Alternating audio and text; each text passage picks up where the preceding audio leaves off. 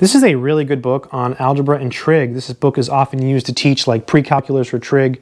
This is the book by Sullivan. This is an older edition. I'm sure there's a newer edition now. Um, this is a great book. It's got tons of examples. It reads really well. It's got tons of exercises. You can see I've done some of them here. Um, really excellent book on uh, algebra and trig. If you're looking for a book for self-study, this is perfect.